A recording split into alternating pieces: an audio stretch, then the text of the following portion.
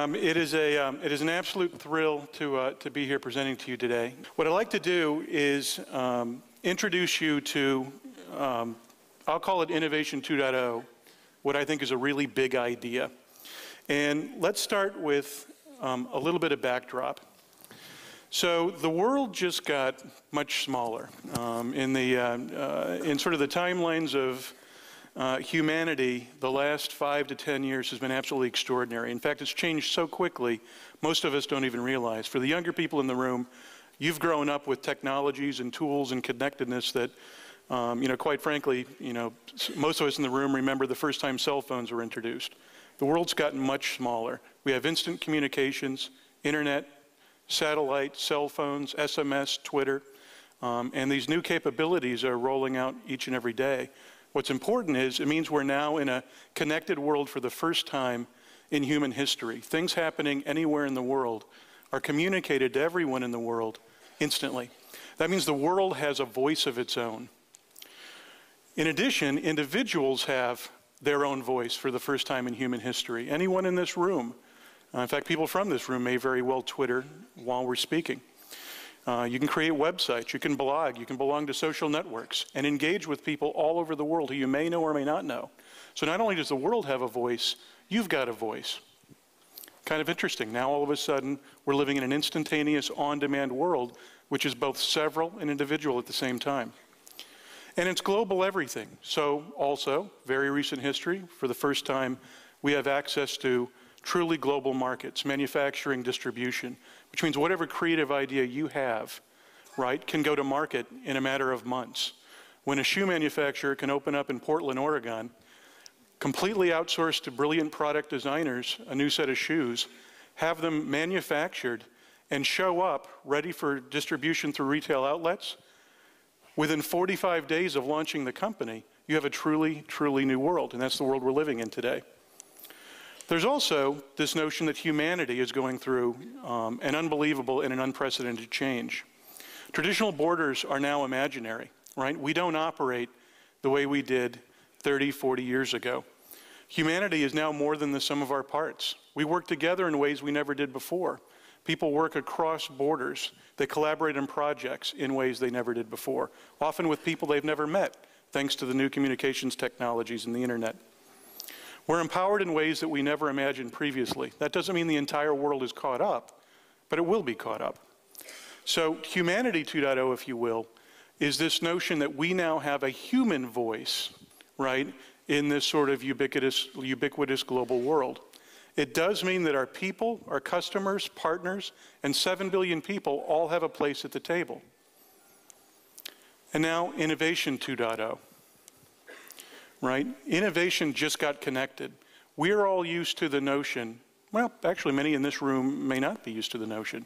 In traditional innovation in large corporate uh, buildings, you might have 7,000 researchers sitting inside four walls doing things their way, the way they always did, uh, looking at innovation coming from the sources that they've traditionally looked at for innovation. This room tends to, I can tell the last two days, tends to be highly inventive and creative, often thinking outside the box, but that is not the traditional mode for innovation, as you well know. Let me ask you this question. What if you asked 100,000 people what'll make a difference in their lives?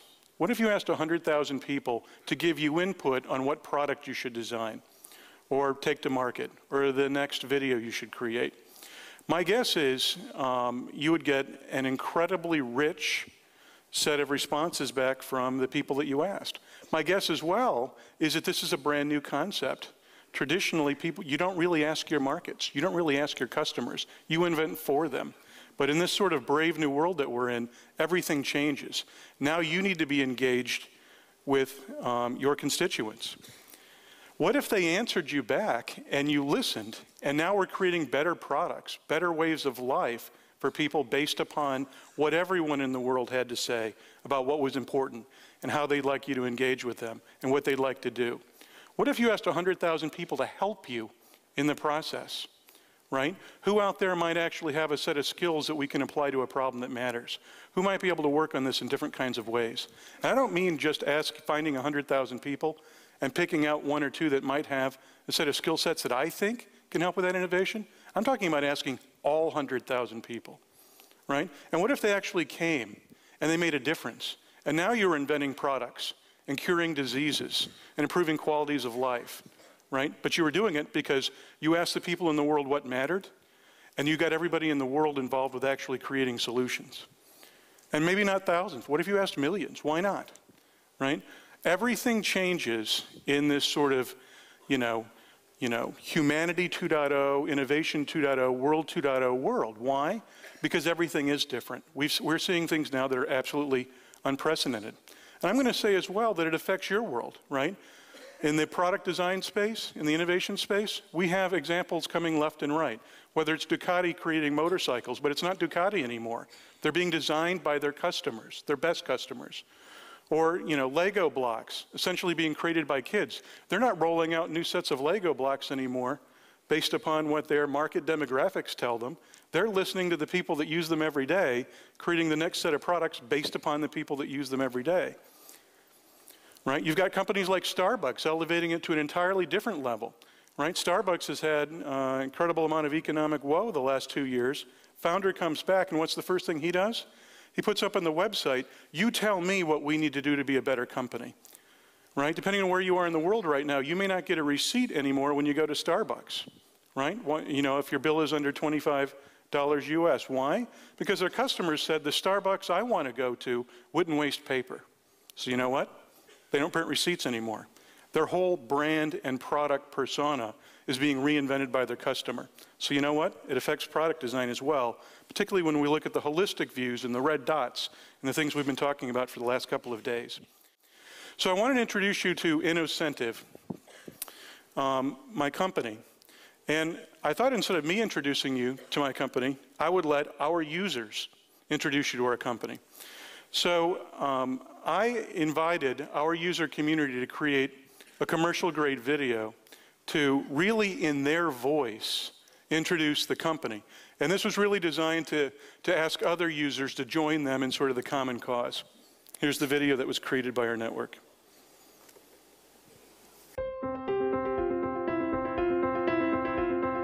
Now more than ever, the internet gives you greater access to the world than any other medium around. But you're a problem solver, whether by nature or profession, and when you view the world, you see problems awaiting that perfect solution. Your solution. You're tired of the voyeur seat and realize that the time is right for you to reach out. You're ready for the internet to bring you to the world. Innocentive does just that, connecting real-world problems to the world's wealth of brilliant solvers like yourself in a competitive, open innovation platform. On our website, not only are you competing for the substantial cash prize awarded every winning solution, we here at Innocentive understand that for solvers, there's an even greater reward, having a positive impact on the future.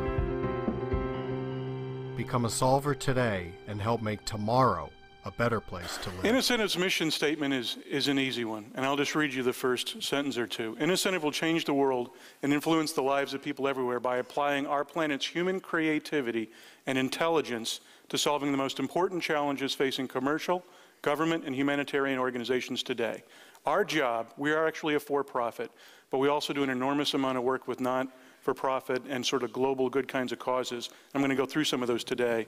Our job is to essentially connect innovators, brilliant people, creative people all over the world with the problems that matter. Think of us as the eBay of innovation, right? Our model connects problems from organizations that we call seekers, innovation hungry organizations. They need a new product. Uh, they need a disease, disease cure candidate.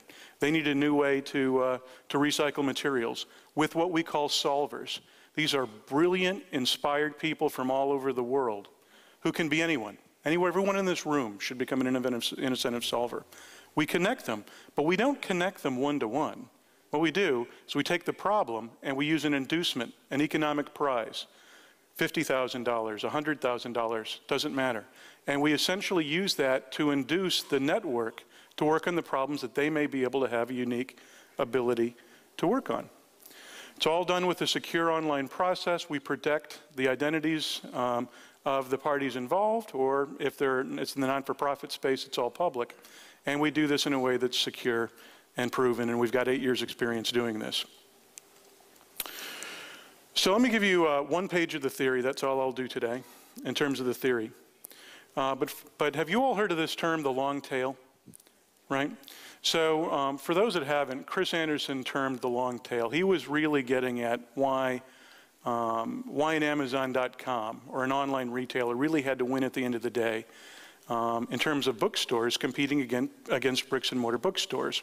And here's the rationale. A bricks and mortar bookstore really can only afford to stock the bestsellers and a few other books. Turns out most of the books sold in the world are every other book, right? So the only way as an online, the only way that you can really win at the end of the day is as basically an online virtual retailer because you can stock every book, right? Those are the books that are purchased. So the long tail, if you will, represents all of the books that are purchased all the way down to the very last one. And as a bricks and mortar bookstore, you can stock very few. Well, we talk about the long tail of innovation. Here's the idea. You know, you probably, as a company or an organization, uh, you may very well go to um, the best schools in the world and cherry pick who you think are going to be exactly the right people to solve your problems, right? And you might have a pretty good hit rate. But I think people in this room, more so than other audiences I speak to, know something that's very, very true at the end of the day. Something a lot of the, uh, the smart people in those labs don't want to admit. Most innovation doesn't happen where we think it's going to happen. It happens on the boundary. It happens when backgrounds and experiences and things intersect areas we don't anticipate. So it turns out organizations are reasonably good at innovating, but real innovation, real breakthrough innovation is usually happening somewhere else. So the long tail of innovation says, look, maybe as an organization, what you want to do is actually staff a fair number of people. That's fine. Call them innovators. And you might even work with other companies. But the long tail says if you can get access to everyone else in the world that may be able to work on your problem, you're richer still. Harvard and MIT and a lot of other schools do a lot of analysis on Innocentive, and they do it because we're an open company, we make our data um, pretty public. And they have had some absolutely intense findings looking at our data. The first one is um, innovation really does happen where you don't expect it. So they looked at, um, they looked at years of Innocentive history, looking at companies and non-for-profit challenges and things that we've run in our network. And what they found was, in very few cases, was the breakthrough uh, solution, did it come from the field in which anybody would think it would come from? Right? And I'll give some examples in a minute. Uh, but a problem with uh, recovering oil in subarctic waters. It was a construction engineer that had the inspired idea on how to do that. Very seldom do things come from exactly where we think it should. The second thing that was really interesting from the Harvard study was this. Why on earth do people do this? Right? Why would you spend so much time trying to help an organization innovate? And it's interesting. We've got an economic prize um, that we offer in every one of these cases. But you know what? Turns out the number one reason that people innovate on our network for other organizations is they want to work on problems that matter. Right? And this will come up again in a few minutes when we talk about things in the uh, foundation in the global good space. But they want to work on things that matter. As a human being, that's really inspiring to me. Second thing is they want to be recognized, right? You want to be part of a global community that solves really hard, hard problems. And the third thing is you care about the money. Every study that's been done, and there have been multiple studies, every study that's been done on Innocentive has found that users do these things. They do these things because they want to work on problems that matter. So the world is watching. This has been something very chronicled. Innocentive, if you haven't uh, heard or read about us, we're in about 130 different books. We've been on BBC, NPR, all over the world. We're really kind of the poster child for an area known as crowdsourcing right? The notion that the crowds are a heck of a lot smarter than any one of us by ourselves. And organizations all over the world are using, they're adopting this approach. On the commercial side, organizations like Procter & Gamble and SAP and Beiersdorf and companies all over the world. These are examples of some of our customers. As importantly, what we're doing on the not-for-profit side, we work with the Rockefeller Foundation, the Global Alliance for Tuberculosis, the International AIDS Vaccine Initiative, and others, really trying to get people working on, again, the problems that matter. If you were a solver coming to the Innocentive website, uh, what you would do is you'd come in and try to find things that you can work on, right? Things that inspire you. So if you came in, you might look under business and entrepreneurship. You might look under physical sciences and see challenges for liquid level detection.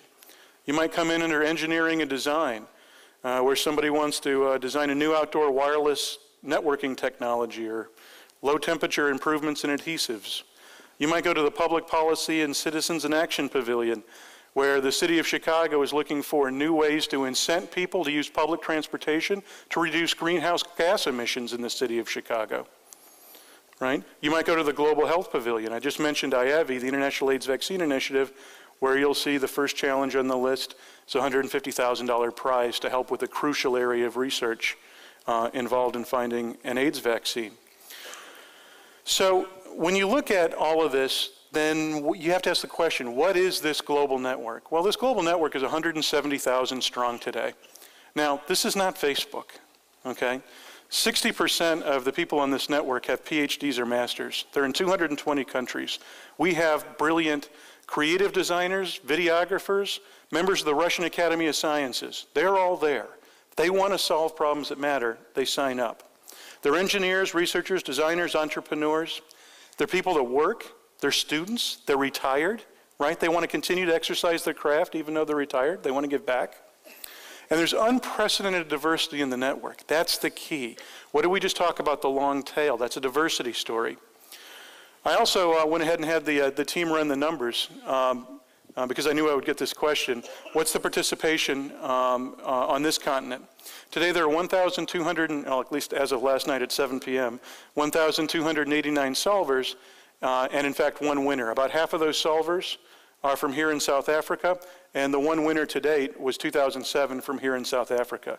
But I will tell you this, there should be thousands upon thousands of solvers here in South Africa, considering the number of, here in Africa, considering the number of challenges we run to help people in this part of the world. So it's underrepresented. I'm going to now make it a personal goal to see if we can't make that number tens of thousands, if not millions.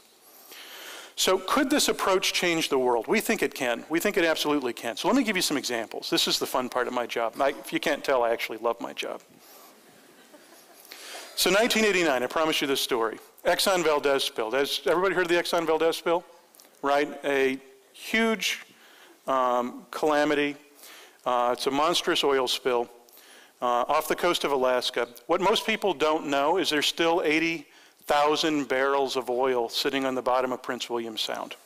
Right? It never got cleaned up. And the reason it didn't is you're in subarctic waters. So the water is not frozen down there, right? But you get above the water level, and you know what? It's pretty darn cold. So they can't, they have a very difficult time pumping this very viscous, kind of sludge like oil through the barge system. If you can't pump it through the system, you can't pump it out of the bottom. So since 1989, when the Oil Spill Recovery Institute was founded by government and the big oil companies, they've been searching for a way to get oil to flow through these systems so they can get the rest of the oil recovered. Well, as part of this process, they put a challenge on the Innocentive Network. I think it was on the order of $20,000. Uh, we ran this, I think, uh, last year. Uh, I believe we ran this. Ran for about four months. And solutions came in from all over the world, and they were phenomenal solutions.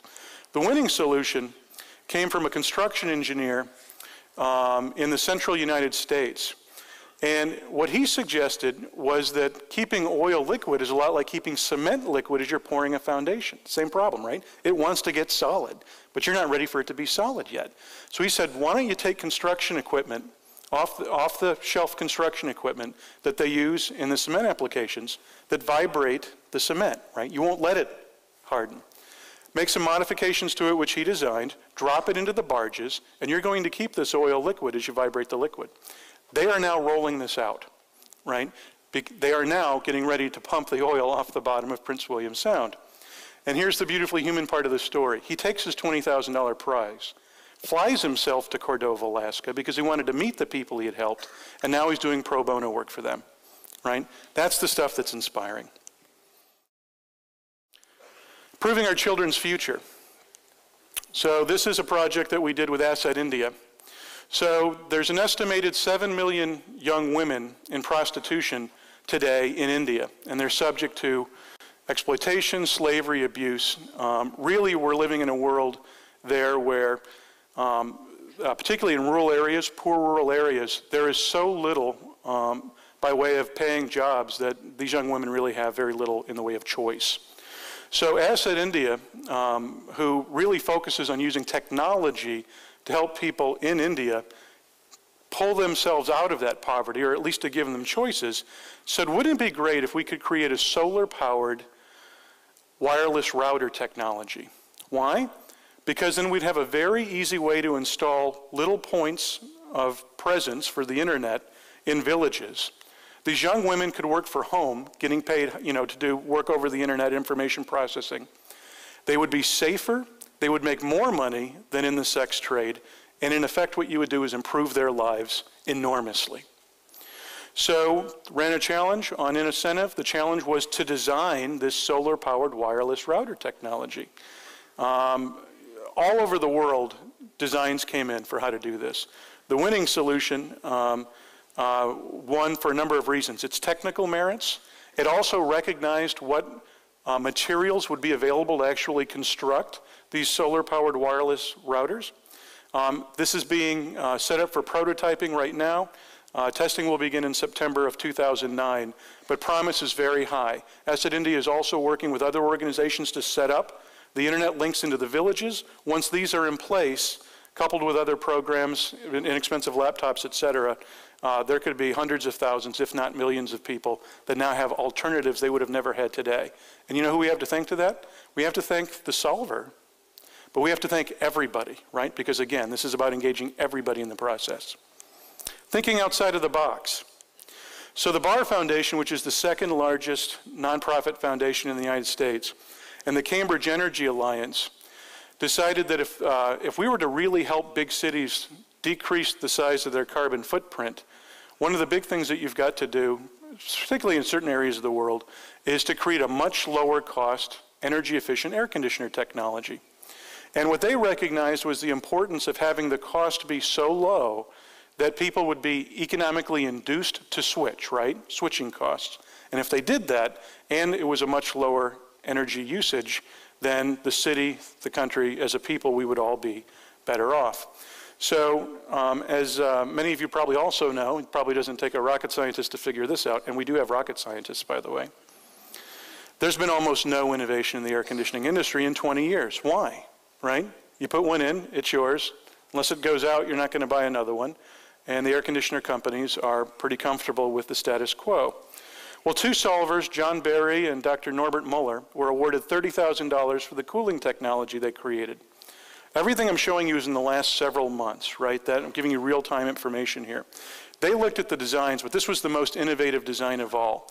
This used a whole set of filters and water channels and evaporative uh, technologies. You know, when things evaporate, they tend to cool.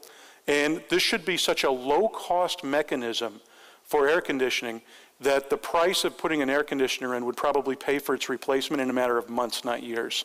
So this could be transformational. So right now they're prototyping this, and if that works, then they'll actually roll it out to air conditioner companies who they hope will pick it up and start to put this into production. Truly ingenious solutions. We worked with an organization, Sunnight Solar, and this was also founded by the Rockefeller Foundation, to see what we could do to find some innovative ways to slow the spread of malaria. So 300 to 500 million cases of malaria each year. I know many people in this room don't need to be told the statistics, but there's immense societal and economic costs. As you well know, you can't stay indoors all the time or under a net all the time, and the chemical solutions are, um, have their own set of, of issues associated with them. So the challenge was, what can we do with solar energy? You see a lot of solar energy prizes these days. To produce a device for under $10 that would kill, repel, repel or sterilize the female mosquito, stop the spread. And talk about out-of-the-box thinking. Everybody in the world that was looking at this price Price thought that this would be what's called an active solar solution, meaning using a solar cell or a solar panel. The winning solution was actually passive. There were no solar cells involved. So get this. You're going to take a mound of wax that stays outside during the day, picking up all the heat it can, right? And turns out it can hold that heat for quite a while. And there's a reservoir in there. And so the, uh, the person with the, the, the device wears a sweatband around his or her ankle over the course of the day, which picks up his sweat. So it turns out there's two things that really most attract mosquitoes in the, uh, in the evening hours when the mosquitoes are most likely to bite, and that's the human heat signature and the human chemical signature, mostly coming from sweat. So this wax device picks up the heat during the day and becomes the hot sort of bullseye in the home in the evening. And because the person, I don't know what it smells like in here with this whole sweatband thing going, but the, sw the sweat is, is uh, before going to bed, the sweat is essentially squeezed into this uh, reservoir, and there's a facility there for catching uh, and trapping the mosquito. So it looks like the cost of producing this is dollars, right? They're testing this. What a brilliant idea. I mean, if you can actually do this, then this could be built anywhere in the world for almost no cost. And these are the kinds of ingenious solutions where you do ask yourself, you know, why hasn't anybody else thought of this? Well, maybe we haven't had enough people working on the problem. That's what we're trying to do. And I'll give you one last example, and this is one of my favorites. So, um, tuberculosis research. One of the most promising drug candidates is a drug candidate called PA824. Existing, the existing manufacturing process for this is incredibly expensive for a number of reasons, which I'll explain. All that you really need to know here by way of background is that when you're putting a drug candidate through the approval process. You've got a second job you have to do, which, which is even if it gets approved, I still have to be able to manufacture it. The cost of creating a TB drug is too high. It's never going to be distributed in the areas in the world that require the drug. So the Global Alliance for Tuberculosis um, asked us if we would run a challenge and really try to get our entire network um, involved with solving, uh, solving this problem. So here's the perfect storm. PA824 as a drug requires uh, uh, three synthesis steps to create, which is very expensive. That's one. Two, the materials you use to make it are toxic to anybody involved in the manufacturing process. And three, they also are explosive, right? Your lab blows up. So that's a problem.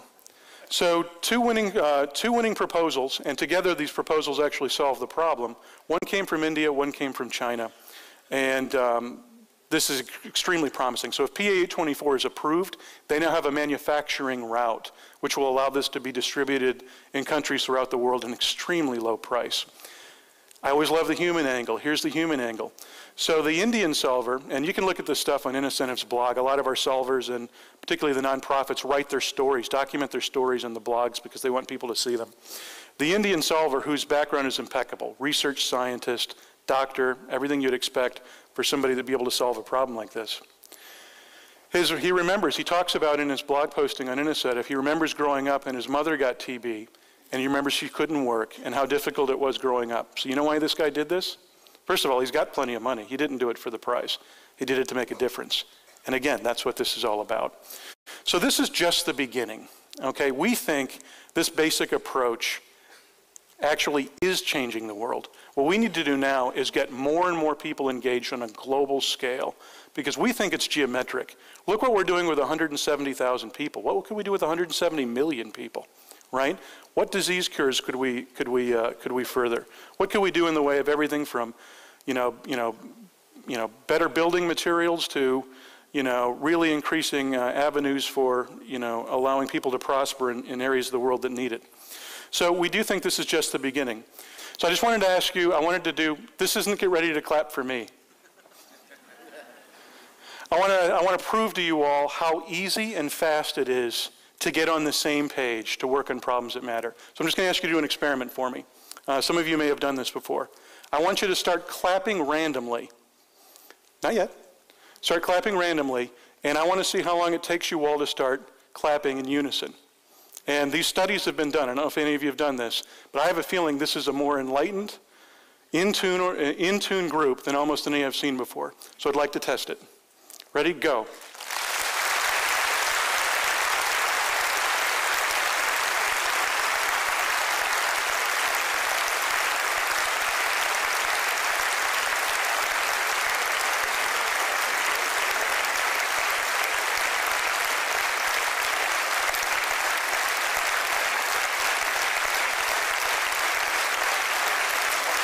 Go.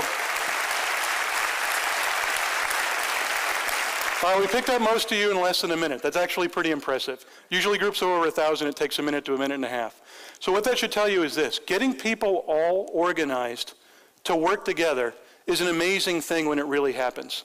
You're, when, when you have a common purpose, a connected goal, and something meaningful, it's amazing. You can do anything you want to do. What if the world weren't powered, though, by 1,600 people? It was powered by 7 billion. I would say the sky's the limit. And all I ask you is, are you ready? Are you ready to participate in this innovation economy? Improve the lives of people everywhere. I think you are. Thank you very much for your time.